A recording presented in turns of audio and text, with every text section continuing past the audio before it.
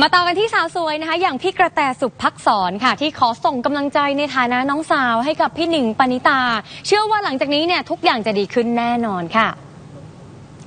ต้องบอกว่าในฐานะน้องสาวคนสนิทอย่างพี่กระแตสุภักษรนะคะก็เผยว่าดีใจที่พี่หนิงปณิตาเนี่ยได้ปลดปล่อยเปิดใจตัวเองมากขึ้น กับปมหย่าสามีค่ะ เพราะว่าตนเนี่ยก็รับรู้เรื่องนี้มาตลอด แอบหวังว่าเขาจะสบายใจขึ้น ก็บอกว่าช่วงนี้พี่สาวเนี่ยโฟกัสงานแบบร้อยเปอร์เซ็นเลย ก็รับว่าเป็นห่วงมากที่สุด ก็คงจะเป็นเรื่องของสุขภาพค่ะ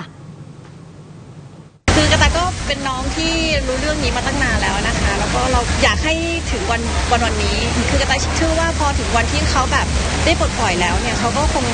มีความสุขขึ้นอะไรอย่างเงี้ยค่ะเขาคงแฮปปี้ขึ้นแล้วก็กระต่ายก็เป็นห่วงเรื่องของสภาพจิตใจของพี่เขาหลังจากนี้แค่นั้นเองค่ะ ตอนเนี้ยคือเขาก็มีความสุขอะไรอย่างเงี้ยกระต่ายก็อยากให้เขามีความสุขอย่างเงี้ยต่อไปเรื่อยๆ ไม่อยากให้เขาคิดมากอะไรแล้วทุกอย่างคือเดินหน้าต่อไปมีความสุขอย่างเดียว